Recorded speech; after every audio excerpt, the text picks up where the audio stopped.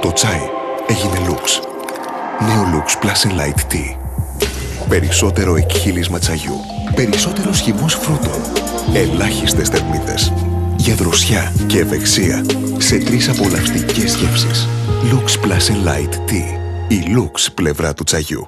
Οκτώ κατηγορίες συνταξιούχων βρίσκονται στην πρώτη γραμμή του πυρός για τις επικείμενες μειώσεις των συντάξεων, τις οποίες επιχειρεί να αποκρούσει η κυβέρνηση. Διάφοροι κυβερνητικοί παράγοντες δηλώνουν ότι το μέτρο δεν θα εφαρμοστεί, ενώ ανοιχτό αφήνουν το ενδεχόμενο και ευρωπαϊκοί αξιωματούχοι, ενώ αντιθέτως το Διεθνές Νομισματικό Ταμείο και η Γερμανία προβάλλουν αντιρρήσεις. Η αγωνία κορυφώνεται ειδικά για τους συνταξιούχους σε δημόσιο και ιδιωτικό τομέα που έχουν μεγάλη προσωπική διαφορά. Το ψαλίδι που φτάνει έως και 18% αφορά συνολικά 900.000 συνταξιούχους, αλλά για ορισμένους εξ αυτών η περικοπή χτυπάει τα βάνη και φτάνει στο ανώτατο πλαφόν του 18%. Σε αυτόν τον άτυπο αγώνα που αναδεικνύεται μητέρα των μαχών για την κυβέρνηση, στην εμπροστοφυλακή ανήκουν 8 κατηγορίες συνταξιούχων, για τους οποίους οι περικοπές θα είναι οι μεγαλύτερες.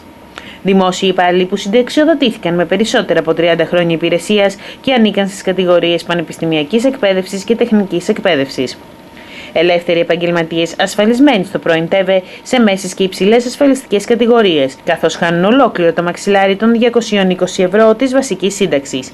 Επίσης, εμποροί ασφαλισμένοι στο πρώην ΤΑΕ στις δύο ανώτατες κατηγορίες που αποχωρούν με περισσότερα από 30 χρόνια ασφάλισης. Δικηγόροι ασφαλισμένοι του Ταμείου Νομικών ανεξαρτήτως χρόνου ασφάλισης, γιατροί και άλλοι υγειονομικοί ασφαλισμένοι του πρώην Ταμείου Συντάξεων και Αυτασφάλισης Υγειονομικών ανεξαρτήτως χρόνου ασφάλισης.